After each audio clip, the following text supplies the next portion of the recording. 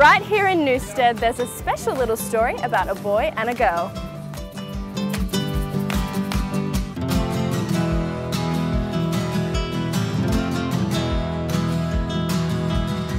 Jody and Steve have combined their expertise to create their very own cafe, whole food market and cellar. Now Jody is a nutritionist and so she's super passionate about teaching others about wholesome, healthy food. That's why the market is stocked with ethically sourced preservative-free products. There's also a huge range of raw, vegan and organic groceries there to choose from.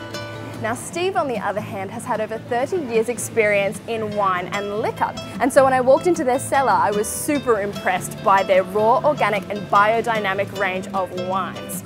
Now Steve is also an artist, so there's a beautiful room filled with artwork that also doubles as a function space for wine and cooking masterclasses. And last but not least, the cafe uses seasonal, fresh and local ingredients to create some of the delicious meals that are on the menu.